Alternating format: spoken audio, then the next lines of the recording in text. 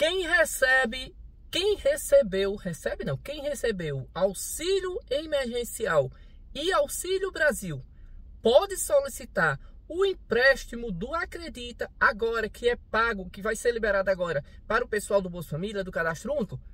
E aí, será que vocês podem fazer? Pois é, a resposta sim, pode fazer. Fica aqui no canal que eu vou explicar para vocês por que vocês podem fazer, não porque vocês podem, como vocês devem fazer, tá bom?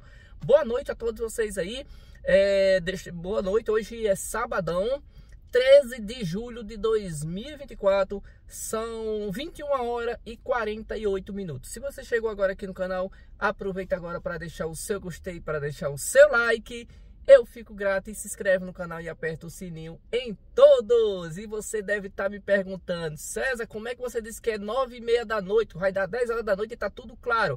Porque eu estou fazendo esse vídeo exatamente agora, nesse horário que eu estou fazendo, são 15 horas da tarde. Eu estou fazendo esse vídeo para ser programado agora para 3 horas, para 21 horas e 46 minutos, tá certo? Aqui é um vídeo gravado, por isso que eu estou programando para essa hora, por isso vocês estão vendo aqui meio estranho. E eu estou aqui, ó, com minha camisinha, ó do meu youtuber. Quem, quem, quem me segue aqui há um bom tempo sabe que o meu canal era aqui, ó.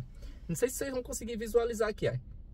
César Rocha Fotógrafo. Era o nome do meu canal. Aí eu botei para canal Fuxico Brasil. Não sei se ficou melhor, né? Muita gente disse Fuxico Brasil. Por que Fuxico Brasil? Fica todo mundo perguntando por que Fuxico Brasil. Acha que eu sou fuxiqueiro, né? Mas o meu canal era César Rocha Fotógrafo, né? E aí eu mudei depois. Não é questão. Eu quis mudar e assim foi. Bom, vamos lá. É, vamos falar para quem recebia Auxílio Brasil e Auxílio Emergencial. Muita gente sabe que as pessoas que recebiam o Auxílio Brasil e o Auxílio Emergencial, que não existe mais, né? Apesar que o Auxílio Brasil ainda tem um, aí um critério aí, um, um, algo, ainda é pago o Auxílio Brasil, mas é, um, é outro caso aí, não, não tem especificação contigo aqui.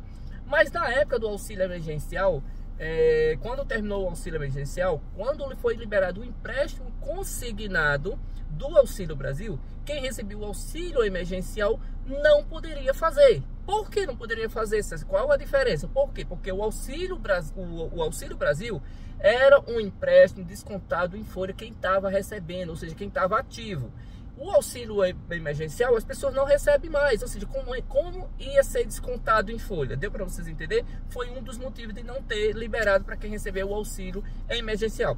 Já para quem recebe agora o auxílio emergencial, esse acredita sim, esse acredita é para qualquer pessoa que recebia o auxílio emergencial e também o Auxílio Brasil, se você quiser, sem problema nenhum. Qualquer um de vocês pode fazer a solicitação desse empréstimo. César, já está liberado para me fazer essa liberação? Só está liberado apenas o estado da, do Ceará, tá? Por enquanto, só o Ceará. Quem for do Ceará pode sim fazer solicitação pelo Banco Nordeste.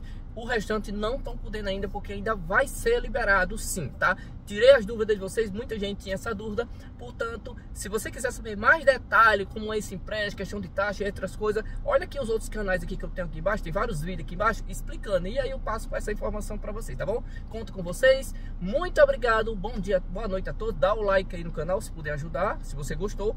Compartilha esse vídeo, pessoal. Isso é importante você compartilhar porque você passa essa informação para outras pessoas que não sabem, acham que não vai ter condição de pegar, mas pode pegar, tá bom? Só deixando claro. E se puder deixe, é, além de você compartilhar, se inscreva no canal aí e aperta o sininho em todos. Muito obrigado e boa noite a todos. Valeu, galera. Pode compartilhar agora.